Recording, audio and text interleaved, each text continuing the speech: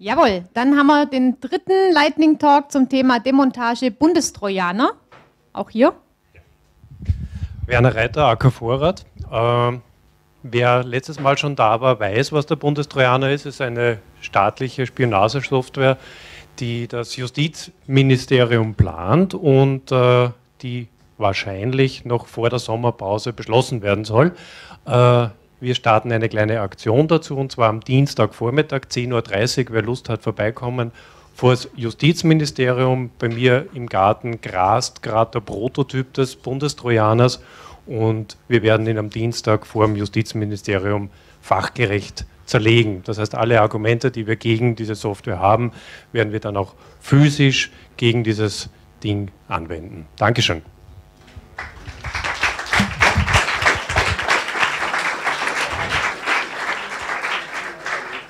Sehr schön.